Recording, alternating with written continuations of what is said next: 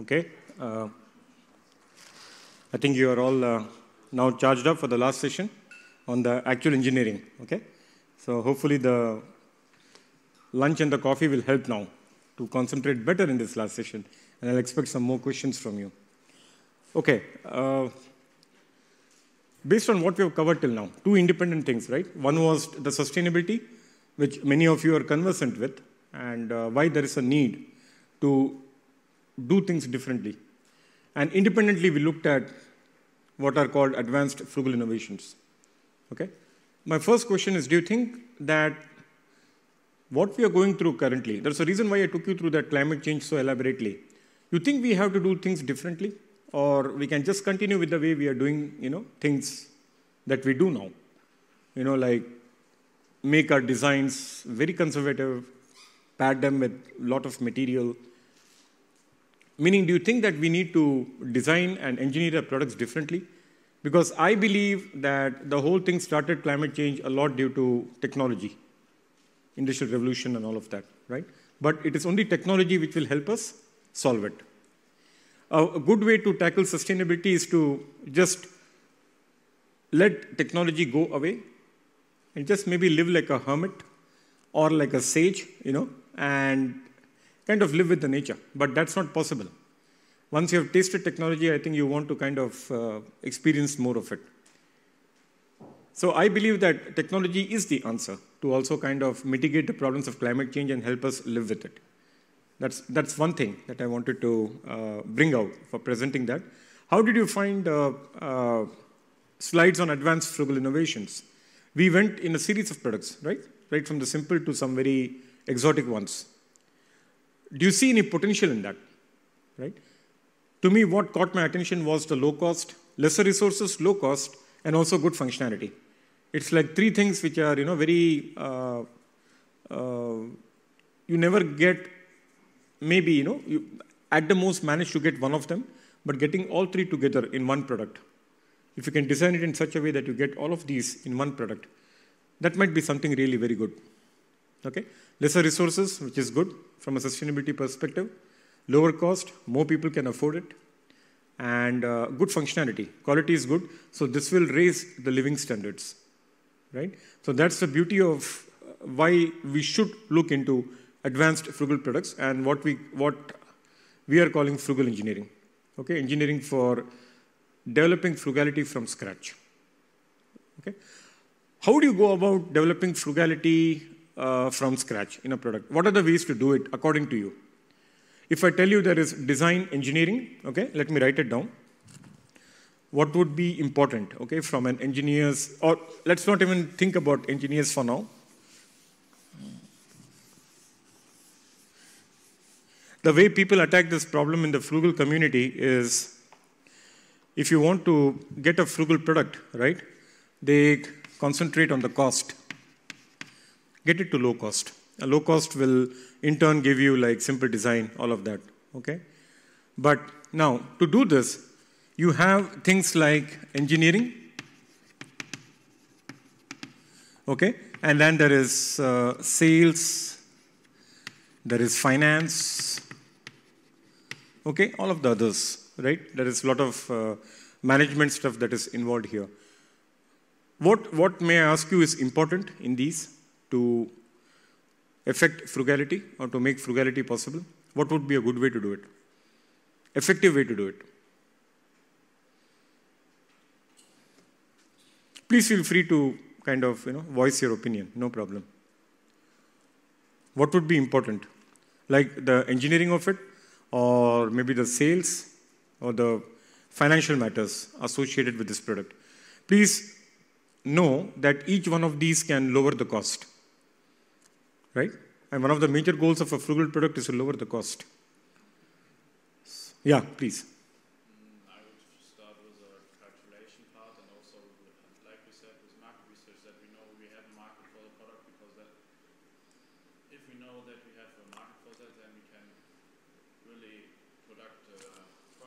So, and then reduce costs. So what is the calculation that you talk about? Is it with respect to uh, which one would it be out of these? Calculation with respect to what? With sales? With sell at the end. So which one would you use? So to sell at that price, right, you have to use, say, one of these or together, I don't know. You have engineering, you have sales, you have uh, finance, right? Meaning engineering, I can engineer something which is not a normal product, but I can play with the sales team to lower the price, to make it low price. So you'll call it it's a frugal product, right? So I'm saying is, is, is that a good way of doing it? So what would, you, uh, what would be your opinion as engineers? Based on what we have talked today, the climate change problem and advanced frugal innovations, we have seen the potential of advanced frugal products in consuming lesser resources, giving good functionality at a low cost. Agreed? And uh, we have climate change a problem going on in the background. Although it is creating a lot of issues, okay, it is also creating a lot of opportunities, okay, to make new products. Okay, so there is a lot of business waiting here, in also in this kind of a scenario. And uh, I, I believe that advanced frugal products can make a big dent here. But how do you make them, right? Or how do you make the concept of a advanced frugal product possible? Do I make it possible through finance and sales or some of these other activities? Or I make it possible through engineering? Or I use a combination of all? Is my question clear?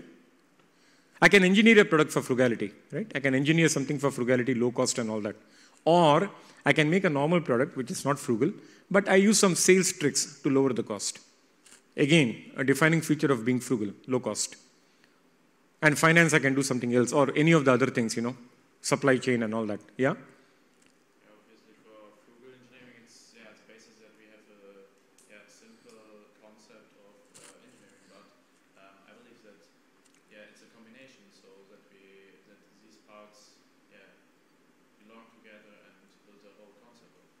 Agreed. Yes. The you know, all these things play a part, but please remember that as engineers, you can build a product from scratch which is frugal, which is more important. It is important to get frugality from a product and later from sales and finance. If I'm getting it from sales and finance, my product is something normal and it has wasted a lot of energy. And probably from a life cycle assessment point of view, it is a net energy emitter, not saver. Okay? It has consumed a lot of resources. It has consumed all kinds of resources. It is really very expensive to make. But I'm using some sales gimmick to kind of lower the cost and make it frugal, which is not good.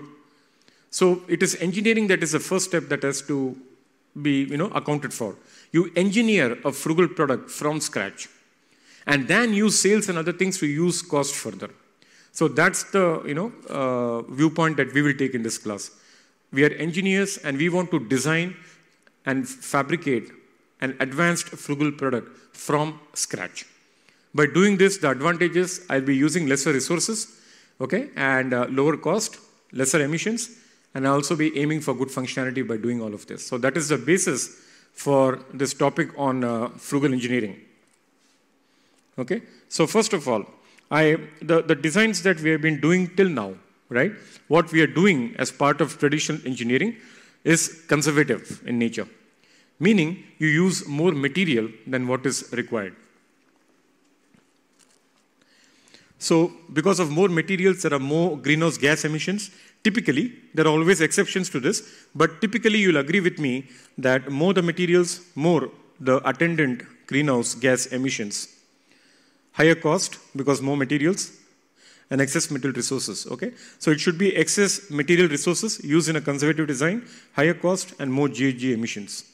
And based on what we have seen, and with climate change and other crises going on in the background, there is a big opportunity to frugalize engineering and frugalize products. So, frugal engineering deals with a streamlined product consuming minimal material resources, robust functionality, and low cost. Okay? So please remember that your product has to consume minimal resources in its making. Okay? It has to be low in cost and it has to give very good functionality. In a way, all these things are also, they affect each other. So by being low cost, typically you might not have room to use more materials. But by using lesser materials, I can also lower the cost. Okay? Although this is very simple to look at, once you look at, for a given product, you look at a whole family of materials and everything possible, a lot of research has to be done to get the right combination to get what you want. Okay? Get these three features. Uh, product consuming minimal material resources, robust functionality, and low cost. Okay? Uh, so the pillars of frugal engineering, right, like any product development, is frugal design and frugal materials. You have manufacturing and then quality control. This is typical of any engineering, right? Uh, uh, engineering of a product, or what we call product development. You start with a concept and then uh, prototyping, manufacturing, uh, all of that, right? And uh, uh, the operation or the running, maintenance, end of life, all of that. So I'm saying that every one of those pillars has to be frugalized to make frugal engineering because if you want to realize the goal of low cost, good quality, and lower resources, you have to frugalize every activity of engineering. Only then can you make this goal possible. Because we want one you know, discipline which is applicable to any product in any sector. So this has to be the general rule. And so by these three pillars that you see here will actually consider most of the stages in product development. And if there are some that I've omitted, you can add them here but you have to figure out a way to frugalize them. Okay, so let's see how we frugalize each in turn. Anytime there is, you know, a, a doubt or you want to agree or disagree, please let me know. I would also like to hear from your side what you think. So please feel free to intervene and ask a question. Right? So, uh, manufacturing, right? When you look at manufacturing, there are different ways of doing it. I can do either casting, I can do cutting, or I can do extrusion, right? There are different ways of uh, uh, realizing a design. Once you have a design, how do you realize it through manufacturing? But even within manufacturing, I'm saying there are so many different processes available. Even within process, there are so many variations possible. Okay? You have casting, okay, which is casting and extrusion. They go with uh, uh, a certain volume of material which are given a definite shape. So there is not much wastage in material. Okay? Do you see what I'm saying? Unlike in cutting, I deliberately remove material to give the shape. So typically in metal cutting, we waste a lot of material. Okay? Or do I go for non-traditional? Do you know what is non-traditional? Non-traditional cutting, have you heard about it in manufacturing? Anybody? Non-traditional cutting? This is cutting in the non-traditional way, machining. So if I tell you that I can use water to cut a block of granite, water, okay? You might not believe me, but that's what we do in non-traditional cutting. We take water and uh, pump it to very high pressures, and at supersonic speeds, we kind of cut blocks of granite. So for some applications, you can't use a metal tool or a ceramic tool. You have to use non-traditional media, but they consume a lot of energy. Okay, that's one thing that we have to keep in mind. So these process details are very important in frugal engineering. Or I can use powder metallurgy. I take powder and you know mold them into the desired shape. Or additive manufacturing, like what we are seeing in the last couple of decades. Additive manufacturing has become very popular. Uh, regarding additive manufacturing, what is uh, your opinion? Is it a good technology for any material? Any material. I'm not saying metallic or non-metallic, anything. You think it's a good thing to have? It can 3D printing or additive manufacturing, is it good for any material? Or do you think it is good only for certain classes of materials, like such as? Plastics, okay. Uh, what about metals?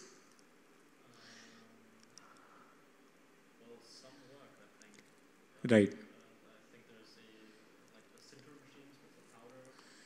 Right.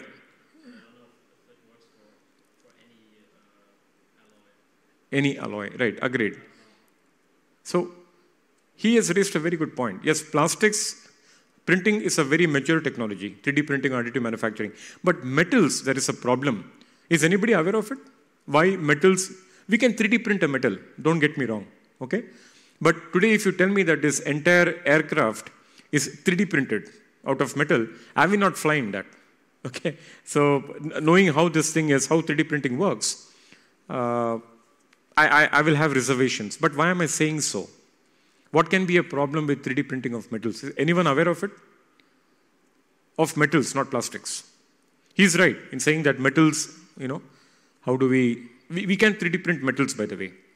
Most of the high melting point uh, metals can be 3D printed because we have high power lasers which can do the job. That's not a problem. But in 3D printing, do you agree with me that your the microstructure of a metal plays a big role? Right? And have you heard about something called isotropy and anisotropy? Isotropy in properties, right? You need to have the same property at every point and same in any direction. If your properties vary with direction, we get anisotropic materials, meaning your material is weak in one direction and strong in another direction. So if you make a product out of such a material, it will fail in the weaker direction.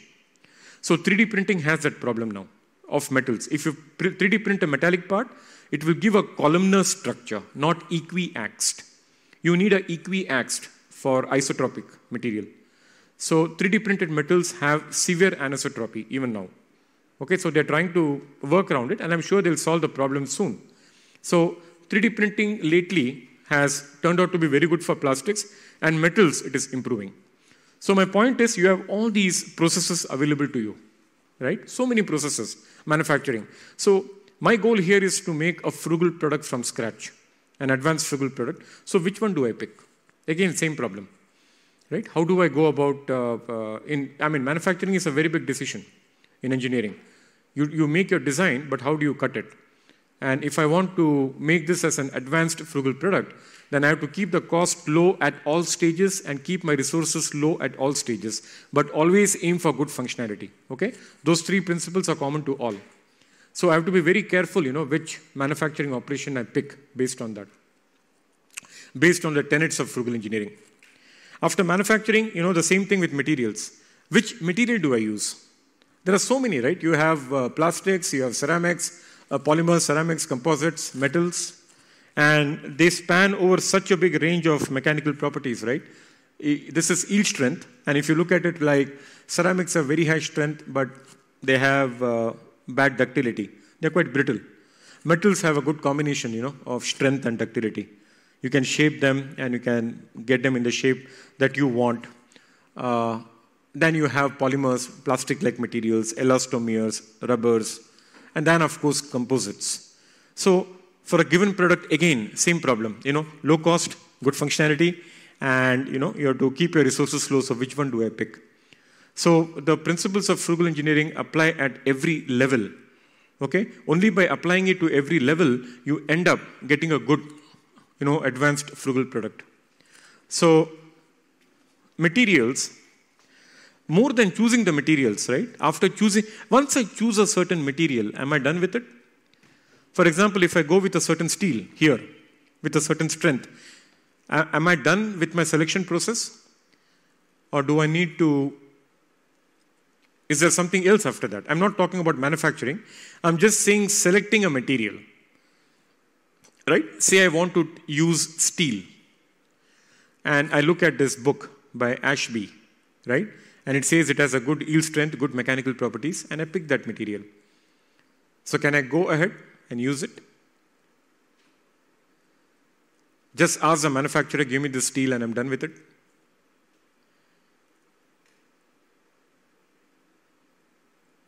You're understanding my thing, right? My question. I, I'm, I'm, I'm say I'm deciding on using a stainless steel alloy, some stainless steel, and I look at a manufacturer and I get the same number, and he sends me the material. Can I use it directly? What do you do with it as an engineer? Any, would you blindly follow that? Or would you do something else to confirm your, right? You should as, as engineers, I'm always telling you, you know, it's, a, it's always good to take a piece of this and test for what it is. Because there is a lot of uncertainty and variability in everything you buy, from batch to batch. Okay? You need to know the grain structure. You need to know the hardness, the strength. You know, convince yourself, yes, it follows very much close to what they mentioned. You need these real good properties. Otherwise, you know, your design will suffer. You will have uncertainties coming in your design. And when you have uncertainties coming in your design, you raise the factor of safety. That's a problem. That's a problem. Okay? So typically when you select a material, it doesn't end there, right? You uh, also need to know the crystal structure. Okay? Different crystal structures. If it is a face-centered cubic, it is easier to deform plastically, easier to shape. It works well in manufacturing. But if I take hexagonal close packed, like what is shown here, typical of titanium and other alloys, right? They have better strength, but they are bad to manufacture. You have to consider these things in detail before, you know, for any frugal application. And once you select the material, you know, what are the mechanical properties, like I just told you? Is it really close to what the manufacturer is talking about? You know, what are the different strengths, the ductility involved? And then the phase diagram. Okay, you also, why would you need a phase diagram? Anybody?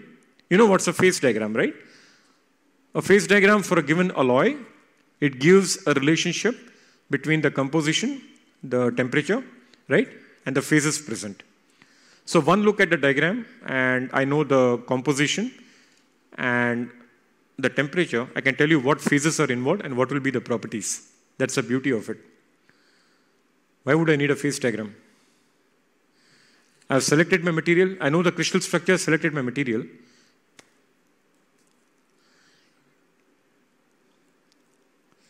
Would you need a heat treatment for your metal? Right? Here we are going with metals. I'm assuming that we'll use a metal for a product. But the same reasoning holds for other materials too. You have to do your due diligence, right? You have to look into the details. A phase diagram is very helpful for heat treatments and other, you know, post treatments that you give to metals, right? See, many metals have a certain strength at a certain composition and temperature range. But I can just improve the strength by giving it a heat treatment and quenching it. So these phase diagrams are very useful in doing that. So it's not just, you know, once you select a material, you have to know the whole set of working conditions for that material, compositions, everything there is to know about it, and get those set of parameters uh, which will make the material the best possible, the strongest possible metal to use in the least amount that you want okay, to qualify for a frugal product. And grain structure, very important, okay? So in this diagram that I've shown here, right, uh, which do you think is a good grain structure to have? You see columnar grain structures here, you see equiaxed, and I see equiaxed grains here, okay? So the mechanical engineers can tell me this. I'm not... Uh, I know some of you are in the biomedical. I'm so sorry that I'm asking some of the mechanical questions, so don't feel bad about it. Okay, That's, these questions are just to kind of get you thinking. Okay, so it's okay. So typically in engineering, you know, uh, we need we want to have these equiaxed grains. So when you have an equiaxed grain, typically in any direction you have the same property value. It doesn't vary, isotropic. So you, we always aim for this. So my point is even selecting a material is so complicated. You have to look at the crystal structure, you have to look at the strength involved, the heat treatments necessary, the phase diagram, the, the microstructure involved. You have to get all these things right, okay, for the application that you are targeting. But I'm saying with the principles of frugal engineering will help you, will guide you through this to select the right material combination to do what it takes, okay? We'll soon see how we do that. Uh, materials. Can anybody guess what is this? What kind of a material are we looking at? Anybody? Huh? This is very interesting, okay? This research was done at Purdue University. I, by the way, I did my PhD at Purdue uh, in manufacturing, Department of Mechanical Engineering, in high-speed manufacturing. And then I did my postdoc also at Purdue in industrial engineering, but in a different group on manufacturing using uh, on nanocrystalline materials. So this is work from that group later. It's a very interesting application. What is the material that you see here? Pardon me? Areca palm, yes. You know what she's talking about? The Areca palm. P-A, um, let me write it for you.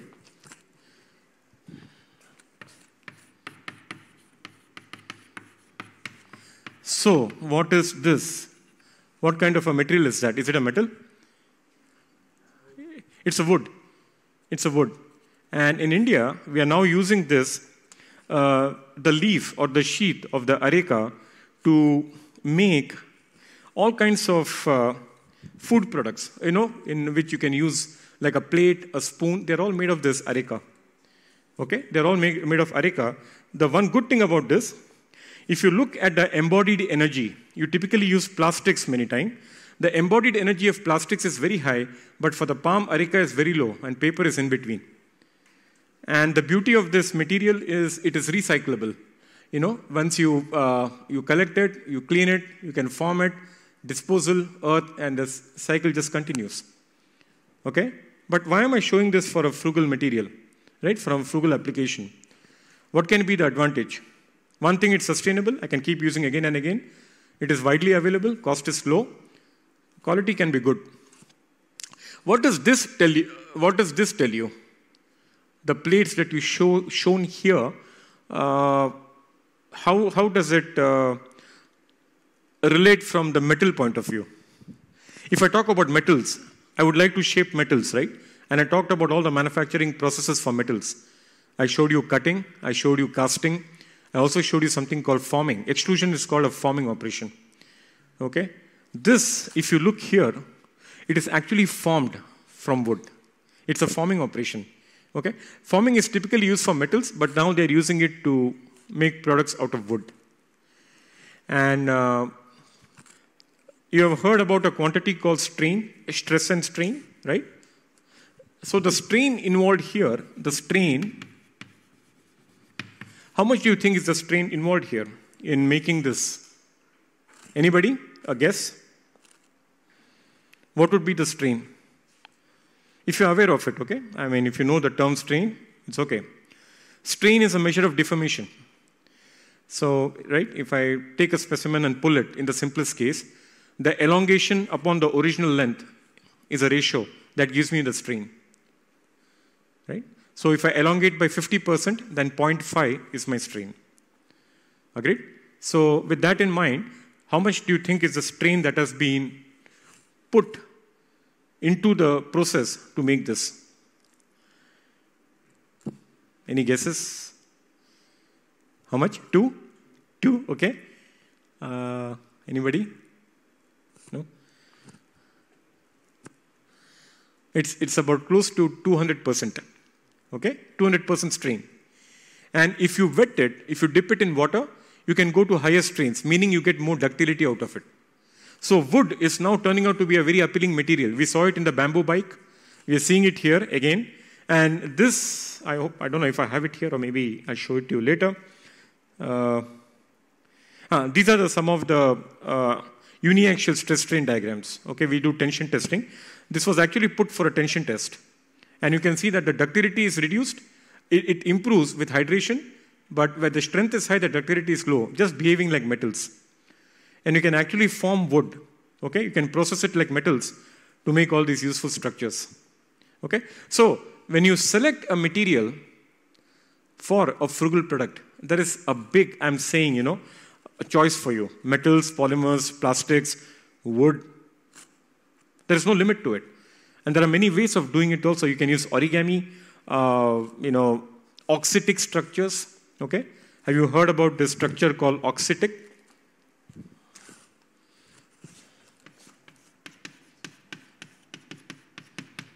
Auxetic structure. Are you aware of Poisson's ratio? Poisson's effect? So when you pull something, it reduces in cross section. Am I right? That's called a Poisson effect. Whereas in this case, when you pull something, it expands. Okay? You can actually structure the material in such a way that it does this. It's very interesting. And it has got a lot of applications for load bearing. So one has to think about all this to, for a frugal application. Lower materials, lesser cost, good functionality. Okay? Sky's the limit. Okay? There are so many ways to look at it.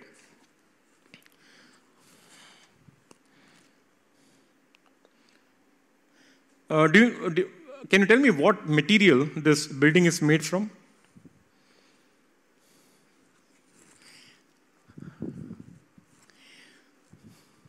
Yeah? Reflective glasses and steel structures. Okay, thank you, Shilpa. Yeah, anybody? What material will this be made of, the building?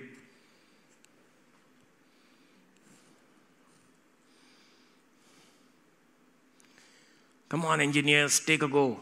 This is, you know, you can, nice buildings in Germany. You'll definitely take a pick. Tell me what it's. She says it is stainless steel and uh, glass, right? So from, from architecture, right, Shilpa? Architecture, okay. Thanks. Again, I can see the, the answer has that wisdom. Yeah. So, anybody? Concrete, okay, not bad. That's it, right? Anybody? Any uh, any other takers? No, okay. What if I tell you the whole thing is made of wood? It's made of wood. I think you knew it? Okay. It's made of wood. This was made, it's made in Canada. And this has become very popular now.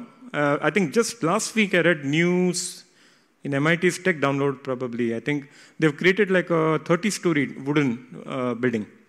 Okay? And this is fireproof and all that. Of course, you, the wood is taken and processed, okay, to make it possible to, uh, so that it has the right load bearing abilities for a building. Okay? And it's made of wood. So, a lot of nice things happening now. We are talking about climate change and all that, but this is also the era when a lot of nice things are happening around you big data, artificial intelligence, 3D printing, new materials. There are so many things happening around us. Okay, this should be used to advantage. Okay, now we are coming to the gist of frugal engineering. Uh, so, in frugal engineering, we design a new factor called the factor of frugality. This is very similar to your factor of safety. In fact, it includes a factor of safety. So I would say, in frugal engineering, if you want to use lower materials at lower cost, what would you do? In traditional design, what would you do? If you want to use lesser materials, what do you do? You use a lower safety factor for design, right? Higher safety factor typically consumes more material. Okay? So different industries, different sectors have different safety factors. Like nuclear industry uses a safety factor of 5. They use more materials because for safety, okay, you need to do that. Uh, but there, if you take the aviation industry, the safety factor is like 1.5 to 1.3 to 1.5. They do that because they want to, you know, save on the weight. Because saving on the weight, you can be more fuel efficient, which is very important for a plane, for an aircraft. Okay? So, the goal here is to, in frugal engineering, we go for a very low safety factor to start with. 1.5, 1.3 to 1.5. If I go with a safety factor of 1, I'm operating at a failure load. You can read it later in a mechanical design textbook. It is very straightforward, okay? Very easy to understand. So you start at a low safety factor, so you consume lesser materials to begin with. That's the first thing of, one of the things in frugal engineering, right? You have to lesser resources, so I go with a low safety factor. Low safety factor, why do I need rigorous design? Uh, what do I mean by rigorous design? with a low safety factor. Anybody? When you have a lower safety factor, right, uh, you're operating closer to the failure load. Okay? So now, if I have a safety factor which is low to begin with, I have to make sure my design is very good. I'm using proper materials, the best data for that material, the most accurate mathematical models, the most accurate data for my materials, everything has to be low in uncertainty, right? And why do we go with a higher safety factor? To avoid uncertainties in design, right? Because there are uncertainties in manufacturing, there are uncertainties in materials, there are uncertainties in assembly, blah, blah, right? The easiest way to do that, the lazy way to do that, is to jack up or make your factor of safety high, right? It accounts for all those safety factors by putting more material into the product. That's it. That's the basis to it. So I'm saying we reduce that number, factor of safety, because now the way we have progressed, we have models which are very accurate, we have data which are also very good, and it is possible to rigorously design with very accurate models, with very accurate data, to reach a safety factor of 1.5 or 1.3, a low safety factor. So by using a low safety factor, I'm going for lesser materials, but I'm using rigorous design because my safety factor is low, so I'm also getting good quality because my design is good. You follow me? Right? So, by choosing a low safety factor, I'm going for lesser materials and also good quality in the product because my design is rigorous. I don't stop there, okay? I don't stop there. So, I take a low safety factor and fix it at that value. And after that, for every next step in product development, say manufacturing, all the others, I keep on saving more and more material. And the savings I get there, I keep adding it to my safety factor to get what is called the factor of frugality. I'm sorry. Okay, that's a new safety factor. I will show you how this thing works. Okay, so don't get confused. It has got two parts to it a safety factor, okay, which we use in traditional design, and there is something called MS, material saved. Material saved in addition to a low safety factor. I'll show you soon how this works. But the takeaway here is you need a low safety factor to begin with because that saves material for you and saves costs. But your design has to be very rigorous because your safety factor is quite low. But by following a rigorous design, I get good quality of my product. Okay, so that's how this thing works. Okay, that's a symbolic representation, f raised to s, where f is my factor of frugality and s is the safety factor. Okay, we'll see in a minute how this works.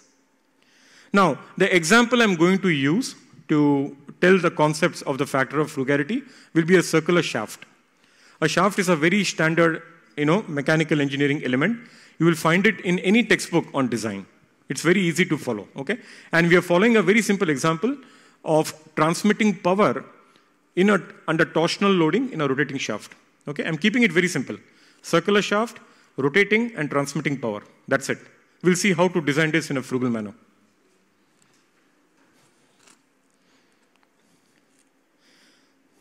Okay, so that's my shaft, and it is torsional loading, so it is loaded under pure shear.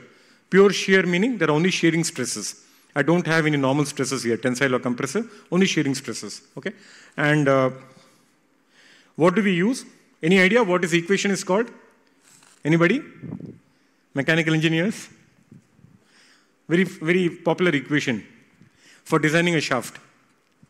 Don't worry if you don't know the answer, okay? It also happens to us, okay? We are not know-it-alls, but if you have any hint. It's called the torsion equation. Okay, torsion equation, which is used to design a shaft. So that is what is called the polar moment of inertia, which shows how your mass is distributed about a rotational axis. It's the equivalent of mass for rotary motion, right?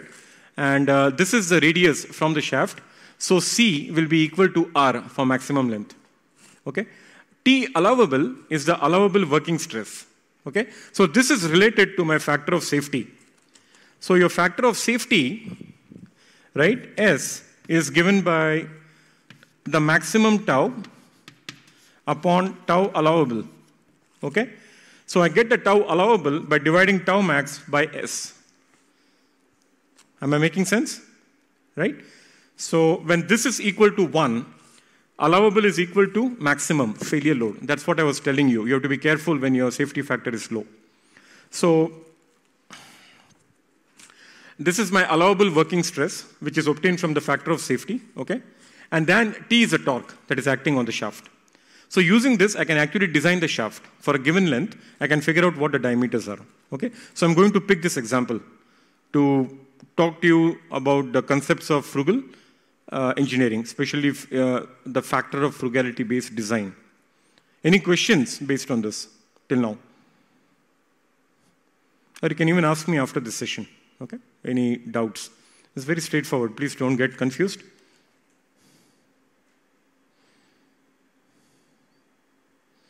And I'm using a power of 500 kilowatts and 1200 RPM. Standard problem. You will find this in Ugural 2015, very standard text. It's available online. You can take a look and maybe work it out to just convince yourself. So here is a solid shaft. You know, based on the conditions I showed you in the previous slide, for 500 kilowatts and 1200 RPM, I'm assuming a certain steel with a certain strength characteristics. I get this diameter for my shaft, solid shaft. Okay, this is what I need to transmit that power at that RPM, a solid shaft. But if I make it hollow, right, these are the dimensions I get. What is the advantage of using a hollow shaft? Anybody? The advantage of using a hollow shaft. You are using less volume of material. Thank you. Yes, lesser material for a hollow shaft. And you'll be surprised to know a hollow shaft has better structural integrity than a solid shaft. Okay, the moment of inertia plays uh, to the benefit of a hollow shaft. We know this from strength of materials. Now, this is what frugal design does. So, the first thing I do, I start with a very low safety factor of 1.5. Okay, for my factor of frugality F. F is equal to S. Okay, F factor of frugality is equal to S. That's the first step. Okay, I go with a you know very low safety factor, say 1.5. Now I keep my safety factor fixed. I will not change it throughout the process. Okay, now within this 1.5 safety factor domain, I look at all possible designs compared to a solid shaft, which will save yet more material. Okay, you see, if I take a 1.5 safety factor, I'm saving material compared to a safety factor of 3 or 4 or 5 or 2 or whatever. But I'm saying once I fix my safety factor at 1.5, I will have a range of designs within that 1.5 uh, safety factor group wherein I can save yet more material. So if I, if I design a solid shaft at 1.5 safety factor, I can actually design a hollow shaft with the same safety factor of 1.5 and save more material. Okay? So that's the first step. I start with 1.5 and then add to it the savings in weight coming from a hollow shaft when compared to a solid shaft at a factor of safety of 1.5. Am I clear? So 1.5 plus savings in the weight of the material from a hollow shaft. Okay, so I fix my design at a hollow shaft. Okay, it is saving materials from a low safety factor and also by being hollow. Next stage is manufacturing, right? I need to make a hollow shaft of those dimensions. Uh, what manufacturing process do I use? Remember, frugal engineering wants us to use low cost uh, and then lesser amount of materials. So I have to look for a manufacturing process which is low cost and it does not waste a lot of material. So in this case, I'm going for what is called extrusion. So I take a certain volume of material and I can just extrude it to the shaft I want. I'm not wasting any material. And it gives me the right finish and all that. So hypothetically, if I had to machine this shaft, machine a hollow shaft from a solid one, I'll be wasting so much of material in it. So I compare that with extrusion and figure out what are the savings in the weight of material reduced with a hollow, you know, with an extruded hollow shaft. That saves more material. Okay? So how I, so what are my savings till now? Low safety factor, and then going for a hollow shaft with that safety factor, and now extruding that hollow shaft. Okay? So there are three, you know, different ways by which I have saved material independently of each other. I'm adding all of that together. Finally, I'm saying can I find something like this in the junkyard? Okay, if I have to salvage, I go somewhere and I find in a junkyard there are all these car parts, and I find this hollow shaft, extruded hollow shaft, somebody has just junked it there, right? I pick it up. It has the same specs that I want. I don't even have to fabricate it, it's already done. So I'm saving yet more material now. Okay, I also add that to this total and I get my final factor of frugality. So I start with a factor of frugality at 1.5, safety factor, and then it becomes 2 because I'm saving 50% of weight in going for a hollow shaft in addition to 1.5. So 1.5 plus 0.5, and then when I come to extrusion, I'm saving like a lot of material compared to metal cutting. So I add 1, the savings in the weight, to this, I get 3, and finally, I get four because I can replace the whole thing from a junkyard. Okay? So this, in a nutshell, is how this thing works. There are a couple of papers where I've described this in detail. You can just go through it. Okay? It's not difficult. It won't take time, I promise you. Okay? It's very straightforward. Uh, so I'm going from a factor of frugality of 1.5 to 4. That's a big increase. Okay? But you should, you should remember that a higher factor of frugality for a low safety factor is the best combination. Okay? That's what we are going with. And this principle guides you through the entire you know, product development route. The whole product development can be nicely gone through systematically with a factor of frugality approach. We talked about so many materials, manufacturing, and all that, right? But if you follow this simple principle, it will help you to get the right combination that you want for your application. Okay, now here is again in a table format. So we start with a safety factor of 1.5, right? And uh, we start with 1.5 savings. The second step is 1.5 plus 0.5 coming from the hollow shaft, which is an alternative design. So 50% of weight is reduced in selecting a hollow shaft when compared to a solid shaft. In the third column, in addition to 1.5 and 0.5, I'm saving 100% in manufacturing by just extruding it and not machining it. Okay, 100% because there is zero wastage. So I'm actually 100% saving of material. So that boils down to one. So I add one there. And finally, I'm, I'm, I'm getting this whole thing from an, uh, a junkyard or a salvage product. So again, I'm saving 100% in weight. I add another one. So finally, your bookkeeping tells you that the total value for F is 4 from 1.5 to begin with. And this can be applied to any product. Okay? What if you have, a, uh, for example, something like, uh, okay, sorry. And this, this chart tells you what are the maximum values your different factors can have. Your safety factor has to be from 1.3 to 1.5. And then for simple design, it is saying that a maximum savings can be obtained of 50%, okay, in a frugal design. But this depends on the application. This, you know, you have to frame these numbers yourself for your area. But here I'm saying that 50% is something realizable, you know, in uh, the current scenario. Manufacturing can save about 100%. Materials about 50%, biomimetics 50, and salvaging about 100% again. And all of these, one by one, get added to your safety factor to give you your factor of frugality F.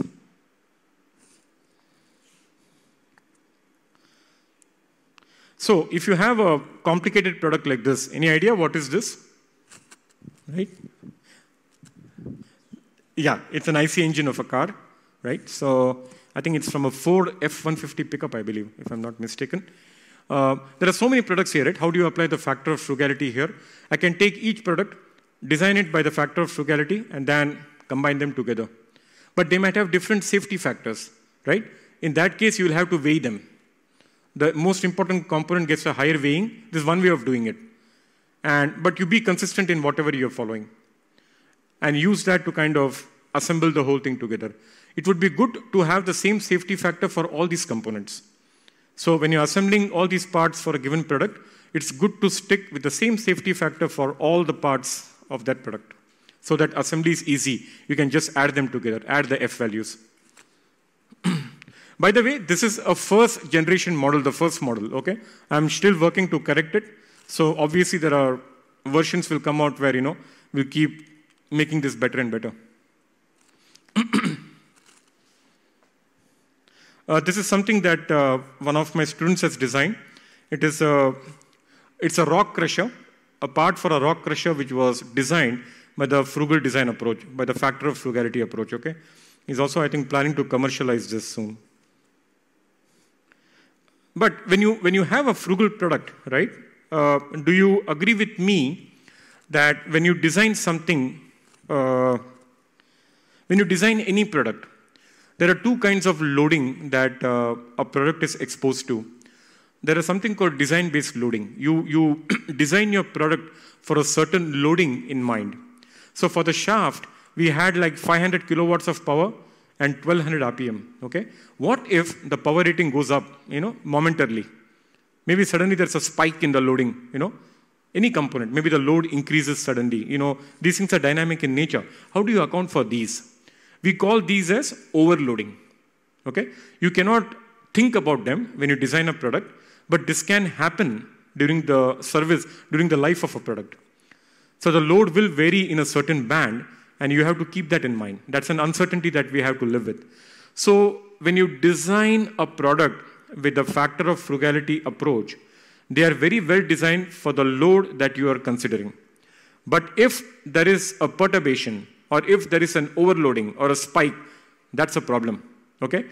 Uh, frugal products are not designed for that, but there is a way to get around that. So when you design any product, you know, by the traditional principles of design, like for example here, we have the same shaft, which is designed for a factor of safety of 1.5 and 3.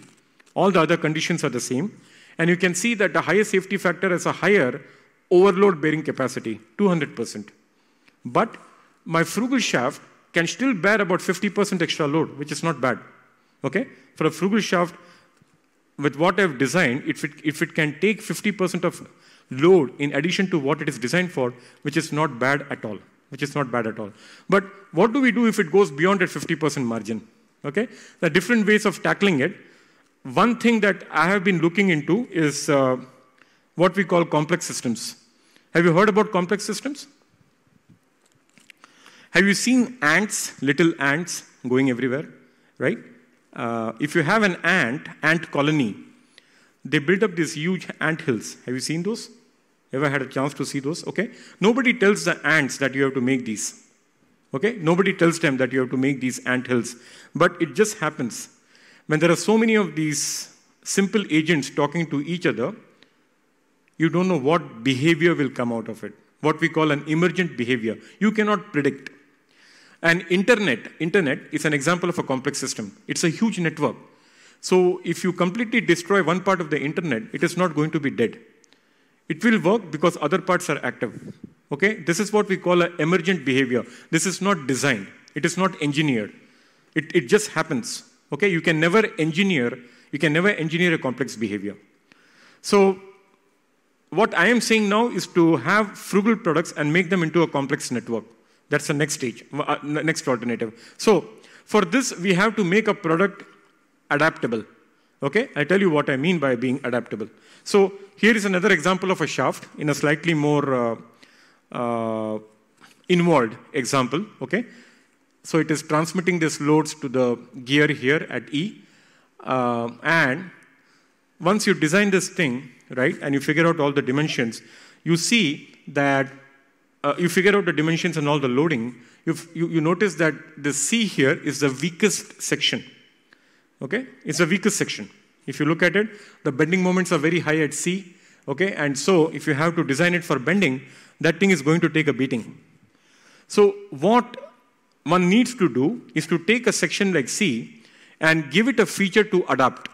Okay? If it knows a failure is coming, maybe it can morph. It can change its form so it becomes stronger. Or maybe it can completely shut itself off, so it doesn't function anymore. But for this to happen, you have to put all these products in a network. Okay? This is what we call a network of frugal products. So you have to make your frugal products adaptive. Put sensors into them in the weakest locations, make them adaptive so that when they know a failure is coming, they can either change their form or maybe shut themselves up completely. Okay? Whatever is correct.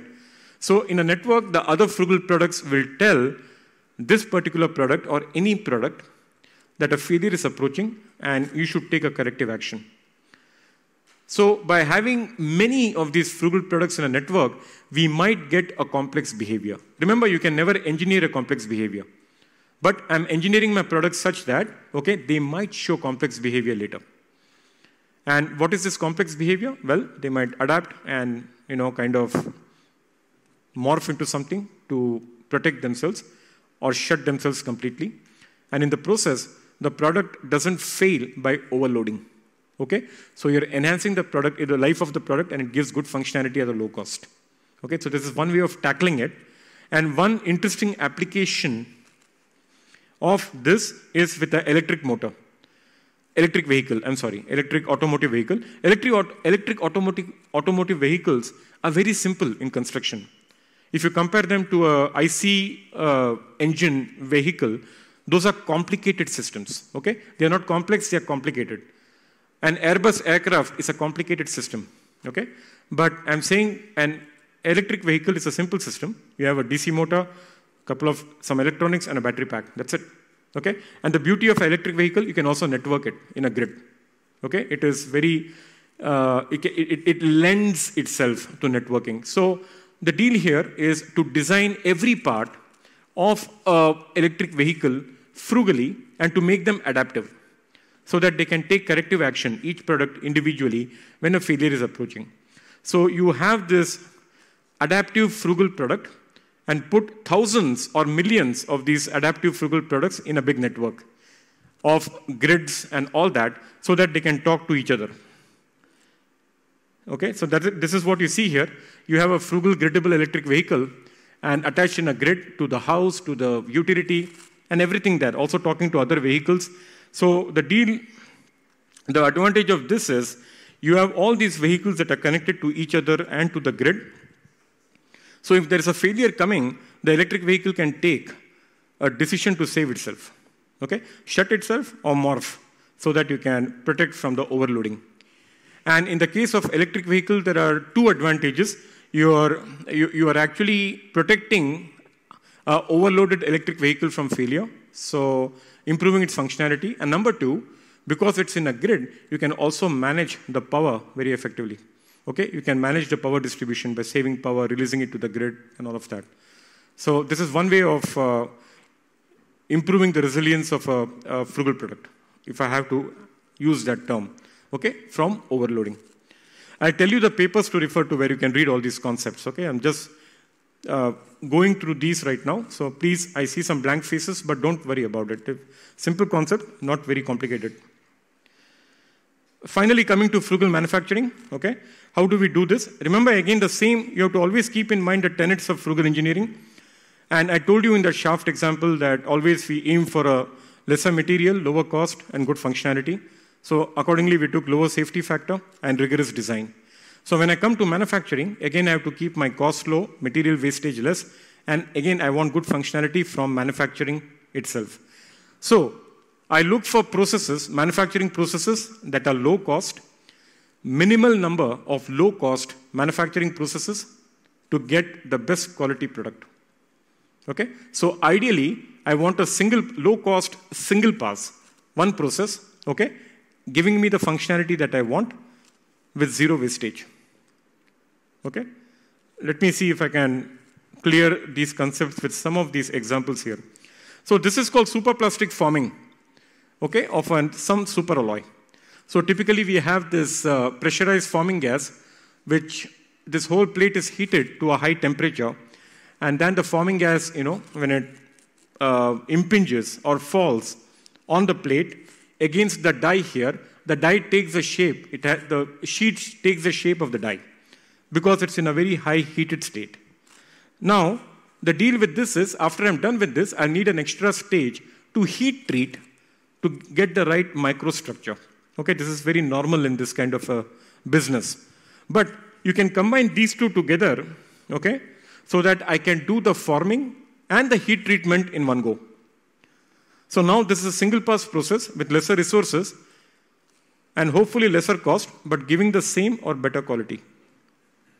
Giving the same or better quality. A still better example would be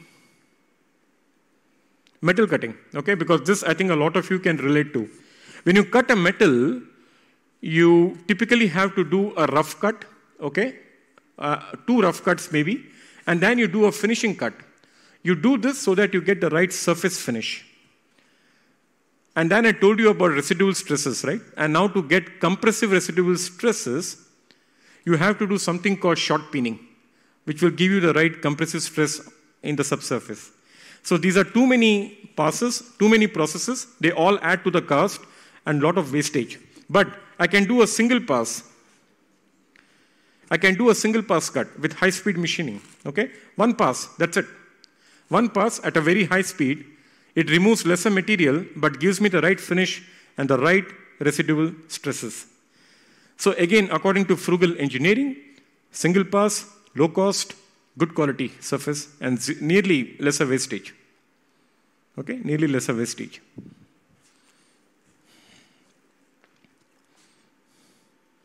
Uh, here is, you know, the table that quantifies the savings in material so by going for the frugal high-speed machining, I'm saving about uh, close to 90% of material. Okay, it's just amazing what you can do with it.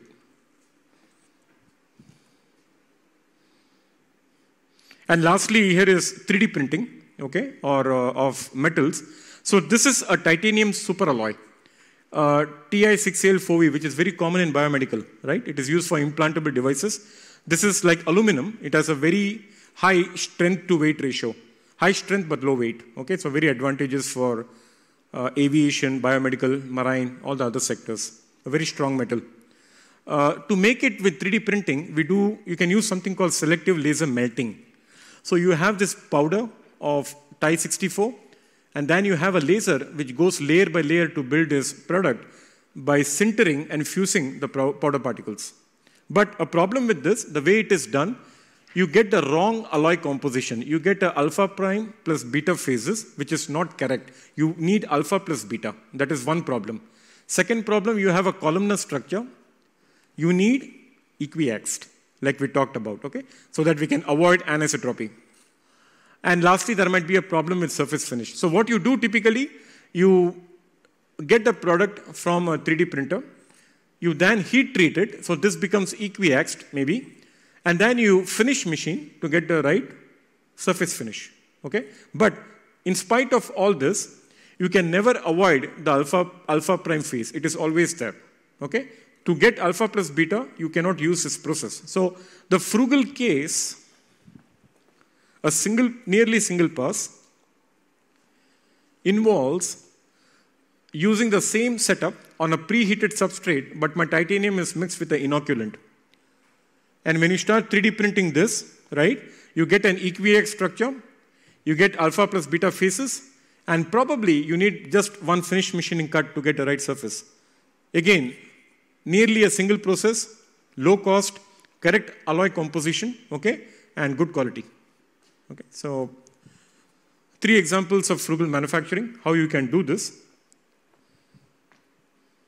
And all these can be used to build what I call frugal machine tool systems, right? So we have to build machine tool systems which are intelligent enough in saving material on their own, using the principles of frugal engineering and also the tools of Industry 4.0, like big data, artificial intelligence, all these things have to be used with them. So uh, you have to use low-cost machine tools.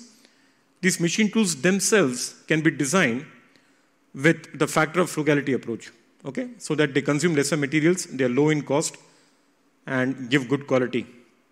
And use Industry 4.0 to save on materials, okay? So you build these uh, machines maybe with intelligence so that they get the right conditions to save on the wastage of material, if there is any and use Industry 4.2 again to improve quality of the workpiece that is coming out.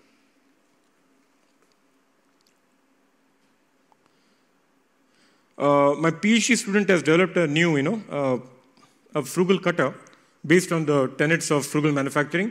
She's currently in Purdue University. She got a scholarship. She's finishing some experiments for a PhD on that. We have patented this cutter, and when ready, this can be used for many of the, you know, CNC machining, you know, CNC machining activities for saving material and also giving good quality uh, products.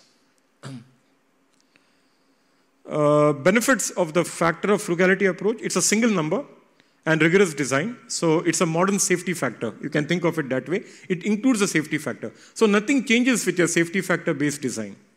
You just use the factor of frugality around that. You can get more out of it. Uh, a reliability approach. Reliability is the other approach to design, other than the safety factor or now uh, factor of frugality. In reliability, it is stochastic, it is statistical. So you need more data to work on it. Okay, so that makes it also expensive, and there are more uncertainties in it. But a factor of frugality approach is only a single number. The uncertain, uncertainties are nicely accounted for by a rigorous design process. High reliability needs higher safety factor. And if we need higher safety factor, what happens? If we have a higher safety factor, what happens? Pardon me? Higher material wastage, typically. Exactly, right? So, again, higher reliability entails higher safety factor, which is not good. We are aiming for high reliability with low safety factor. Okay? It seems contradictory, but that is what we should be going for. High reliability doesn't mean that you need a padded design to improve your safety factor to make it better. Uh, reliability should be used with a factor of frugality. Maybe the two can be combined, you know, futuristic efforts. Look into that. But there are, of course, caveats and warnings for the factor of frugality. It varies with the sector, your, what frugality is. Frugality in the nuclear sector is different from frugality in automotive or some other sectors, okay? And especially when the human life is at stake, one has to move very carefully, cautiously. Okay? And uh, uh, constraints on resources, and rigor is very much needed. Okay, you have to always aim for the most accurate models, for the most accurate data, for the best that is available. Only then can you be very sure about your design. Otherwise, you're introducing uncertainties, and the whole thing here was to avoid uncertainties. You know, to minimize them as much as possible, even with a low safety factor. And lastly, right, the last topic quality control. You always have to do stringent quality control for these products. And so, what qualify as control limits in quality control of conventional products, you, you might, we might have to make it more stringent. Your limits will go down, okay? Your control limits will actually become very narrow now for a frugal product. It cannot vary quite a bit because our design has to be really very good because of the, although we have limited resources, so our design has to be very good. So quality control has to be very stringent to make sure that this is the case. Even things like drifting, right, where you drift away from what is required, one has to be careful with these parameters. Okay? The minimal that one can tolerate, the better for a frugal design. Uh, I think uh, that's the last slide for today. And question and answers. This is IIT Madras campus. Beautiful a lot of deers, and we have a nice ecosystem. We have a lot of nice, you know, white bucks, black bucks, endangered, uh, spotted deers. So our institute is built sort of in a jungle. It's very nice. Okay, it's very nicely kept, and it's a paradise for jogging and you know, kind of cycling. Okay, it's a nice jungle, especially when it rains, it becomes more beautiful. It's like you know, walking through a hill station, or you know, uh, very good for doing research. Keeps you motivated. So please, uh, questions. I know that uh, if you want to know more about this, right, I think a good thing is to look at the site frugalengineering.in, and all the papers are available there. And there are three papers in the Royal Society Open Science, open access. Okay? Just kind of refer to that, not a problem. You don't have to take a picture. Just write to me, or I think this is going to be recorded and put in a link. You can refer to it. And in this site, you can refer to three of the papers from uh, Royal Society Open Science. There is one on frugal manufacturing, one on uh, complex systems, and one on the design. Okay? Just read those, more than enough. And when, you, when I give the homework and you attempt your questions, you can refer to that material and what I talked about in the class. Based on that, you can answer. Okay? And I will be looking at your, your understanding, how you answer my questions when I grade you for these exams. Okay? Answers are important, but I will be, how have you understood frugality? I'll be just looking from that perspective. So, questions, please. Shoot, you know, please tell me, no problem. You can also email me later. Do not hesitate. Email me and ask me. I will email back to you. And we'll give you enough time for the homework. Okay? We'll give you enough time so you can think and answer back. So it, this is a new concept, and please don't get worried. It's a new concept, and I will help you as much as possible to answer them and get to the right answers.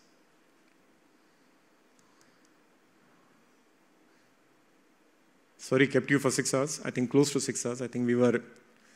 I think it, it, it would be good to kind of distribute these classes over a period of days, okay? Instead of having it on it is kind of bad on the students and me too. So.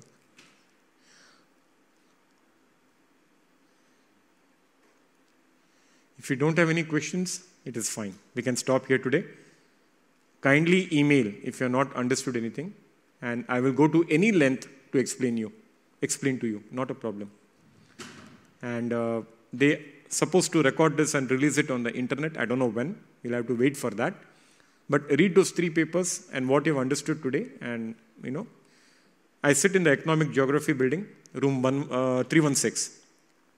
Okay? My, yeah, room 316. So, might, if you have any, want to visit there and, you know, kind of talk about the difficulties, it's fine. I'm here till September end, but on and off. I have other appointments too that I have to go for some talks and all that, but usually I'll be there during the weekdays.